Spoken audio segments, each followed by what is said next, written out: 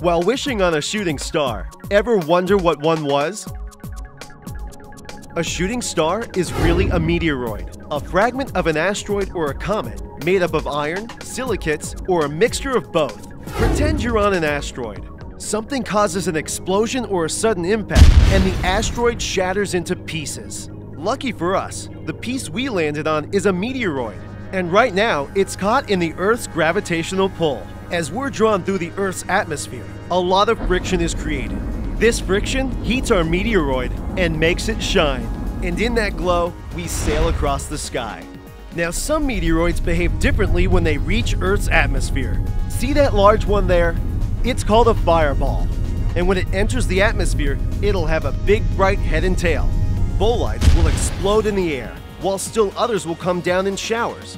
Meteor showers to be precise. No matter how they enter the atmosphere, most small meteoroids disintegrate and fall to Earth as dust, just as our meteor is doing now.